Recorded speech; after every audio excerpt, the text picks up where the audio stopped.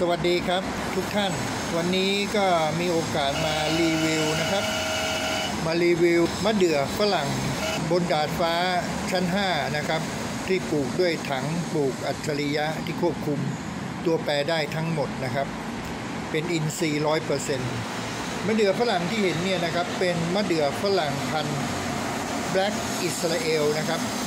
อพูดแค่นี้ก็ทุกท่านก็คงจะที่ติดตามผลงานก็คงจะจำได้ว่า ผมได้ปลูก Black Israel ไว้นะครับ ความจริงก็มีหลายต้นนะครับ แต่ก็กระจายไปในไซต์งานที่ทดลองอยู่หลายต้นทีเดียว ทีนี้วันนี้นะครับก็จะมารีวิวต้นเดิมนะครับที่อยู่บนชั้น 5 อย่างที่ว่าจะเห็นว่าตอนนี้ ต้น Black Israel ต้นนี้โตขึ้นเยอะมากเลยนะครับ เดิมทีตอนที่นำมาปลูกเนี่ย ก็จะมีขนาดนะครับ ขนาดเท่ากับต้นที่อยู่ข้างๆเนี่ยครับ อันนี้เป็นมะเดื่อฝรั่งพันลองลองเดอะเอาหรือลองเอเอาหรือที่ผมนิยมเรียกก็คือลองกระดุกนะครับ เป็นมะเดื่อฝรั่งพันหวานอร่อยมากนะครับ อันนี้ ครับตอนนี้ก็กำลังเจริญเติบโตดีมากนะครับเราก็จะเฝ้าติดตามดูการเจริญเติบโตของเขา ส่วนแบล็กอิสราเอลตอนที่นำมาปลูกเนี่ยก็ต้นความสูงก็เท่าๆกับต้นรองกระดุกนะครับ อาจจะสูงกว่าเล็กน้อย หลังจากที่ปลูกไปตอนนี้นะครับ ตอนนี้ก็ครบ 2 เดือนพอดิบพอดีเลยนะครับ ครบ 2 เดือนนะครับ จะเห็นว่า ต้นของเขาเนี่ยสูงขึ้นไปแค่ระยะเวลา 2 เดือนนะครับ สูงขึ้นไปมากกว่า 2 เท่าเลยนะครับ แล้วใบนี่ใหญ่นะครับ แล้วตอนนี้ที่สำคัญนะครับก็เริ่มมีผลมีผลแล้วนะครับ เริ่มติดผลทุกข้อเลยครับ ทุกข้อที่มีใบนะครับ ก็จะเริ่มออกผล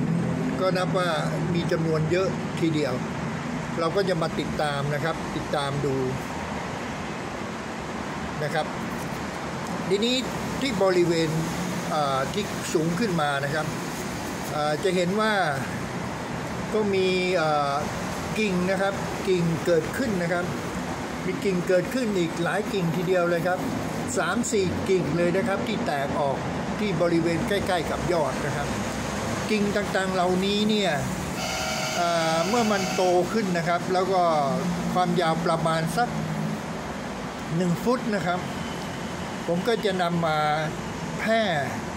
แพร่พันธุ์นะครับ แพร่พันธุ์ออกไป อาจจะด้วยวิธีการตอนนะครับ หรือไม่ก็เป็นวิธีการปักช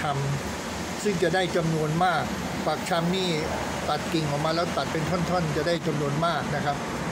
ส่วนถ้าเป็นการตอนก็กิ่งหนึ่งก็อาจจะตอนได้แค่ต้นเดียวนะครับ ตอนนี้ก็ขึ้นมาอีก 3-4 กิ่งเลยนะครับ เราก็ต้องรอเวลาไปนะครับ อันนี้คือ Black Israel นะครับ ที่